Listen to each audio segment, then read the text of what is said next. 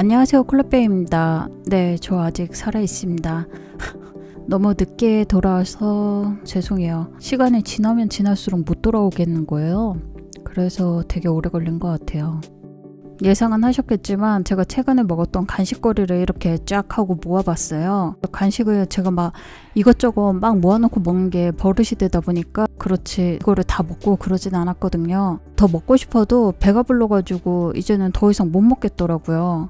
이게 바로 위가 줄면 배가 불러서 못 먹겠다는 그것인가? 막 오, 신기하다 막 이러고 있었거든요. 하지만 위도 늘리는 게 한순간이라는 거.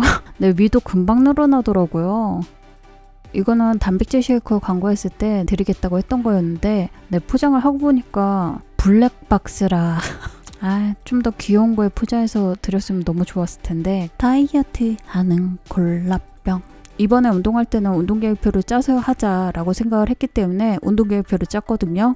근데 스쿼트 100개도 안 되고 뭔가 이렇게 50개 하는 것도 잘 안 되고 그렇다 보니까 그 계획은 2, 3일 정도 하다가 빼버렸어요. 나와의 약속인데 그걸 못 지킨다고 자꾸 생각이 들면은 저한테 실망을 하게 되더라고요. 저는 저랑 친해지는 연습을 계속 하고 있는데 어, 저한테 실망하면 안 되잖아요. 그래가지고 그 계획은 없앴어요. 새로운 계획을 짰어요. 한 번도 빠짐없이 웨이트는 매일매일 하자. 살에 탄력이 없다라는 댓글을 가끔가다 보긴 하는데 전 정말 살에 탄력이 없는 사람이긴 해요. 살이 있어서 살이 흘러내리는 것도 있겠지만 제가 탄력이 없어서 살이 흘러내리는 것도 있거든요. 웨이트를 열심히 하고 나서 그 다음날 아침에 보면은 굉장히 뿌듯해요. 호랑이 기운만큼 중독성이 강한 건 없는 것 같아요. 어, 전 코네레이커가 너무 맛있는 것 같아요. 어쩜 이렇게 안 질리지? 아침에 이렇게 먹고 나면은 좀 있다가 이제 항상 운동을 했던 것 같아요. 코너레이크 같은 경우는 칼로리는 딥다 높은데 배는 안 채워지거든요. 그게 굉장히 속상하답니다. 먹다만 기분? 근데 맛있어. 그게 제일 무서운 것 같아요. 그러다 보면 꼭 군것질을 또 하더라고요. 몇 주 전에 운동화가 빵꾸가 나가지고 네 운동화도 새로 샀습니다. 저는 운동화 살 때 진짜 고민을 많이 하거든요. 제가 발볼이 넓은 스타일이다 보니까 발볼이 얄쌍하게 나온 스타일은 제가 신으면 너무 아픈 거예요. 근데 신었을 때 발볼은 쏙 들어가 버렸으면 좋겠다 싶어가지고 공식 홈페이지에서 리뷰 같은 거 굉장히 많이 읽어봤거든요. 얄쌍해 보인다는 거예요. 그래서 샀는데 지금까지 샀던 운동화 중에 제일 마음에 들어요. 맨날 레깅스 입고 운동을 하다 보니까 허벅지 부분이 보풀이가 일어나거나 아니면 쓸려가지고 점점 점점 천이 얇아지는 거 있잖아요. 몇 주 전에 뮬라웨어에서 세일을 많이 해가지고 한 세 벌 정도 산 것 같아요. 2X 라지에서 X 라지 사이즈가 항상 여기에서 왔다 갔다 했거든요. 근데 이번에 L 사이즈로 사이즈가 줄었어요. 이거는 소머리 국밥인데 제가 한때 너무너무 좋아해가지고 정말 점심마다 시켜 먹었던 것 같아요. 그리고 뱃살 운동도 참 열심히 했던 것 같아요. 옆구리를 비틀면서 왔다 갔다 하는 저걸 뭐라 그러지? 아무튼 저거를 많이 하니까 확실히 허리 옆구리가 많이 들어간 것 같더라고요. 요거는 나중에 뒤에 이렇게 나올 거긴 한데 어, 옆구리 들어간 요 영상이 안 나오네요. 지금 나와야 되는데 어, 나레이션이 요때쯤 딱 하고 딱딱 영상이랑 딱딱 맞으면 참 좋을 텐데 그래서 제가 이거를 정말 열심히 했거든요. 그리고 하다 보니까 이제 뭐 옆구리 살이 빠지고 하는 걸 제 눈으로 확인을 하다 보니까 음, 재밌기도 하더라고요. 나중엔 그냥 재밌어서 많이 했던 것 같아요. 전에보다 옆구리가 좀 많이 들어간 것 같지가 않나요? 제가 골반이 생각보다 없는 스타일이라 옆구리가 좀 많이 들어갔으면 했거든요. 그래서 앞으로도 저거는 많이 타줄 생각이에요. 뱃살을 제가 기록을 해두려고 했거든요. 근데 줄자를 찾을 때마다 없는 거예요.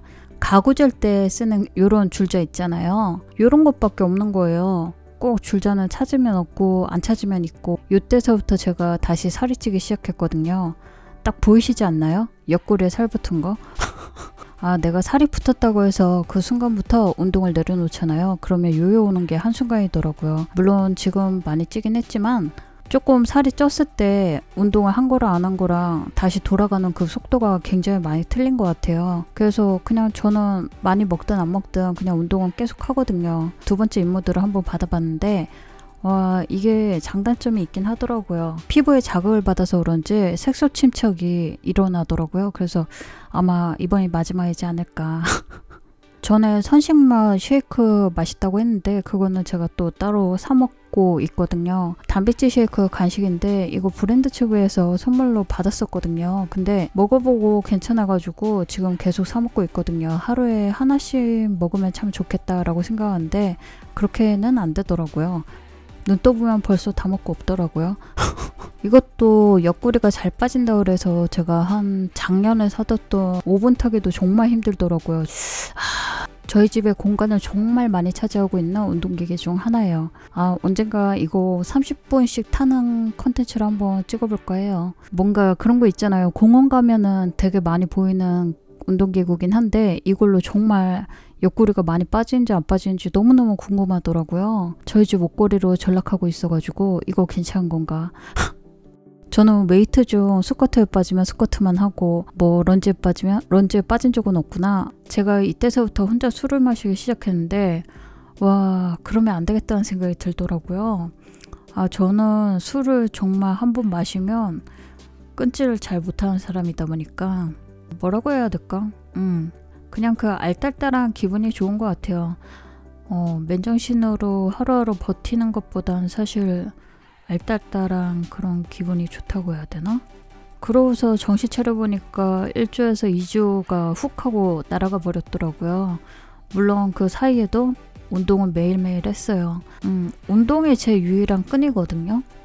끈은 항상 잡고 있어야 되는 것 같아요. 제가 뭐 멈출 때도 있고, 음, 뭐랄까, 내가 좀 무기력할 때도 있고, 우울할 때도 있고, 뭐, 안 좋은 길로 빠져가지고 또 허우적거릴 때도 있고 지하 밑바닥에 어 있을 때도 있긴 한데 음, 내 버팀목이 돼주는 끈이 하나 있으면 그거 하나만으로도 되게 힘이 나는 것 같아요. 어 힘은 힘이 난다고 말을 하는데 무기력하긴 하네요. 되게 뭔가 하나하나 하는 게 되게 오래 걸린다고 해야 되나? 어, 제가 이 나레이션을 한 번에 녹음했을 것 같지만 지금 몇 주째 녹음을 하고 있는 거거든요.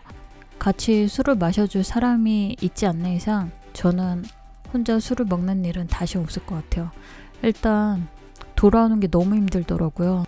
어, 올해 제가 계획했던 것 중에 하나가 음, 정신과 약을 끊는 거였거든요. 제가 2년 정도 상담도 받고 정신과 약도 먹었는데 사실 음, 이게 나아지고 있는 건지 안 나아지고 있는 건지 전혀 모르겠더라고요.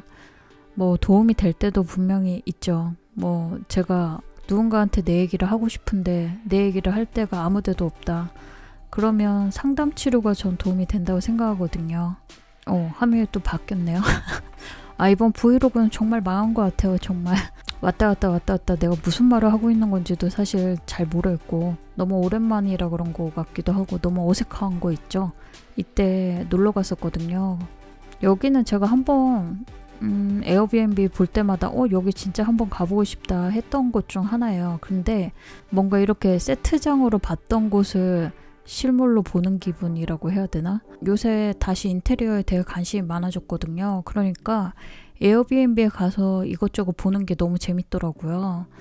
근데 나는 이렇게 못 꾸밀 것 같다는 생각도 동시에 들더라고요. 늦었지만 여기에서라도 비키니를 한번 입어보고자 사실 비키니도 두 개 갖고 갔었거든요. 여기에서 뭐 비키니 입고 춤을 추든 뭘 하든 간에 아 8월에 무조건 비키니 입을 거야 라는 생각으로 갖고 왔다가 이날도 술 먹고 끝난 것 같아요. 뭐 술. 그래서 사실 이날 이후로는 어, 이날 이후로는 뭐 술을 먹거나 그러진 않았거든요. 요게 마지막 술이다라고 생각하고 그냥 끊었어요. 제 원래 목표는 57이거든요. 제 키가 164니까 그게 딱 저의 평균 몸무게더라고요. 전에 브이로그에서 한번 얘기한 적 있는데 20대랑 30대 통틀어가지고 저는 앞자리가 5로 바뀐 게 딱 하루였거든요. 정말 딱 하루. 하루 찍고 바로 위로 올라와서 그 다 하루가 저한테 앞자리 5의 마지막 기억이거든요. 그래서 와 정말 앞자리가 5로 바뀌면 세상이 어떤 느낌일까라는 생각이 갑자기 들더라고요. 그래서 와 빨리 5가 되고 싶다라는 생각도 들면서 음 갑자기 이거 나레이션 녹음하다 보니까 기분이 되게 좋아지네요. 음, 이제 브이로그로 더 얘기를 많이 할까라는 생각도 요새는 많이 하고 있는데 좀 마음을 편히 갖고 하면 되겠죠? 제 모습을 보고 얘기하고 이런 게 점점 점점 어려워지기 시작하더라고요. 아, 사람들이 날 어떻게 볼까? 나 이상하게 생각하진 않을까? 내가 이런 얘기를 해도 될까? 아, 내 생각이 또 틀리면 어쩌지? 막 정말 별의별 생각을 다 하는 것 같아요. 자꾸 그런 생각에 빠지면은 점점점 뭔가를 하기가 너무 힘들어지더라고요. 저는 사람들마다 각자의 예민한 부분이 다 있다고 생각하거든요. 어, 저는 다른 사람이 저에 대한 얘기를 할 때 그때 되게 민감해지는 사람인 것 같아요. 얼마 전에 저한테 냄새가 난다고 얘기하신 분이 있었거든요. 그러니까 그 얘기를 딱 듣자마자 아, 어, 얼마나 참다가 얘기한 거지?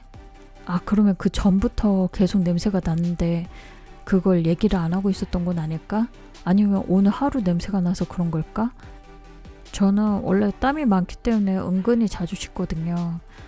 근데 이 이상은 더는 못 씻겠더라고요. 그 말을 들은 이후로 겁나 씻는데 어느 날 피가 나는 거예요. 너무 씻어서. 좋았던 일들도 있었던 것 같긴 한데 이제 냄새 생각밖에 안 나는 거예요. 그냥 계속 생각만 하면 자꾸 코를 막 킁킁거리게 되고 아 나한테 냄새 나나 하고 계속 확인하게 되고 다른 사람을 만날 때마다 한번 물어볼 것 같은 거예요. 혹시 나한테 무슨 냄새 나니? 하고 그런 생각을 하다 보니까 제가 좀 병신 같더라고요. 음. 그 시간에 운동이나 하나 더할 걸. 아니 열심히 안 씻는 것도 아니고 열심히 씻는데도 냄새가 나면 그건 뭐 어쩔 수 없는 거잖아요.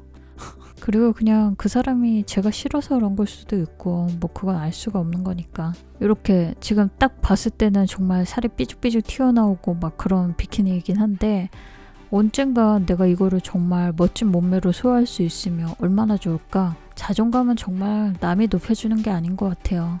사실 사람이라는 게 언제나 나한테 좋은 말만 해주는 게 아니잖아요. 그 사람 입장에서는 그냥 솔직하게 냄새나서 냄새났다고 얘기했을 뿐이고. 근데 내가 거기에 그냥 예민하게 반응한 것 뿐이고 그럴 수도 있는 거잖아요.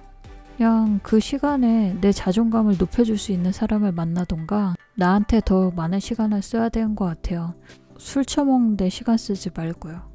몸무게도 그만 늘리고요. 어떻게 보면 별거 아닌 얘기일 수 있는데 제가 거기에 대해서 되게 민감하게 반응한 건제 자존감이 굉장히 낮아서인 것 같아요. 저는 사람은 다 끼리끼리 만나야 된다고 생각하거든요. 솔직하게 얘기한 걸 좋아하는 사람도 분명 있을 거예요. 그러면 그 사람한테 그렇게 얘기한 게 좋다고 생각하고 저는 그런 사람은 아닌 것 같아요.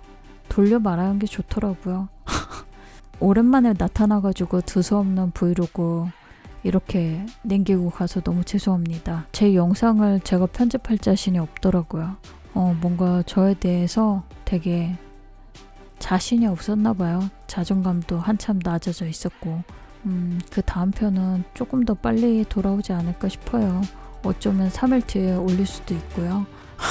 언제나 끝까지 봐주셔서 너무너무 감사하고요. 좋아요와 구독은 저한테 큰 힘이 됩니다. 안녕!